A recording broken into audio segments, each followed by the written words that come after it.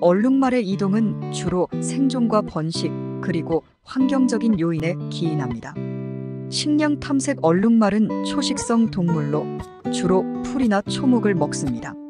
이동은 새로운 식량 지역을 찾아다니는 것과 관련이 있습니다.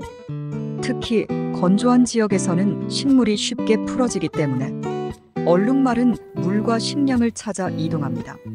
물 공급 얼룩말은 물이 풍부한 지역을 선호합니다. 이동은 물 공급지를 찾기 위해 수행되며 거리가 먼 경우에도 목마른 상태를 피하기 위해 이동합니다. 번식 및 안전 얼룩말끼리의 번식을 위해서도 이동이 필요할 수 있습니다. 또한 포식자로부터 벗어나거나 자연재해 등으로부터 안전한 지역을 찾기 위해 이동합니다. 기후 조건 얼룩말은 기후 조건에 영향을 받습니다. 건조, 강우, 기온 등의 변화에 따라 얼룩말은 이동하여 적절한 환경을 찾습니다. 얼룩말의 떠돌이 생활은 여러 가지 환경적인 요인에 대응하고 자원을 효율적으로 확보하기 위한 적응적인 행동입니다.